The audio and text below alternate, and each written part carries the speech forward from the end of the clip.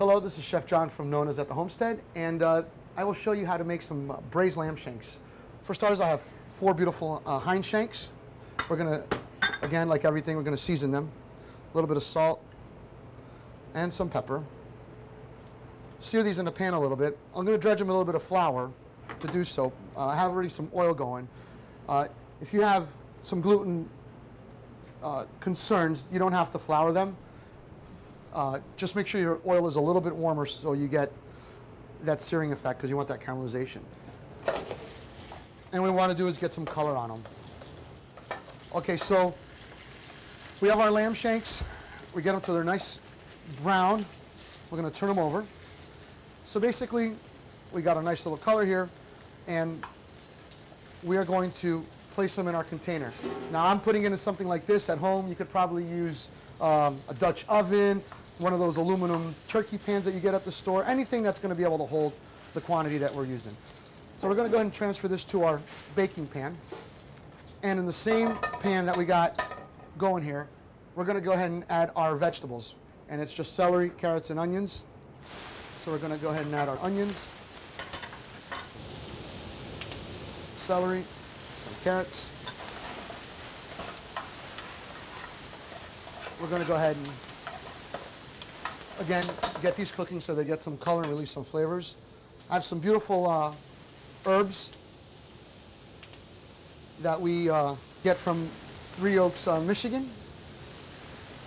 Some thyme, some rosemary. We'll add a couple of sprigs. Again, if you don't like rosemary, you don't have to add it. If you like marjoram, if you like parsley, whichever herb you like. This is more or less a technique. So we're going to go ahead and get some color on that. To this, we're going to add a little bit of tomato paste, maybe two tablespoons. And what we want to do is cook it down. We want to cook that because that's going to get all the sugars in the tomato paste to, again, caramelize and get a little brown. Again, every time we add something, we check for the seasoning, so we're going to add a little bit more salt, a little bit more pepper. We're going to add a little bit of saffron. Not too much. If you don't have saffron, it's not necessary.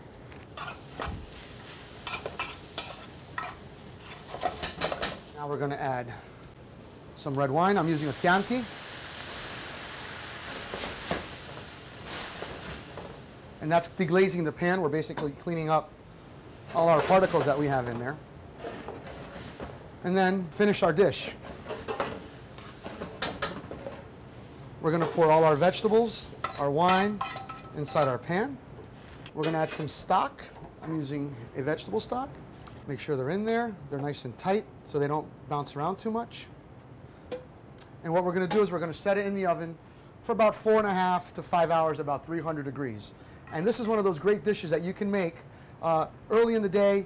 Go about your business, go cross-country skiing, go uh, break some leaves, and then you know time it so that when you come home, all you have to do is pull it out of the oven, and you have a wonderful hearty meal uh, to enjoy with your family and your guests.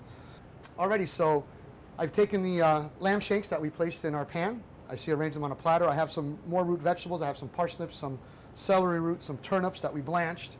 Um, I kept all the, the, the, the braising liquid that we retained, and that's going to make this wonderful broth. And we're going to go ahead and just place that right on top of our lamb shanks.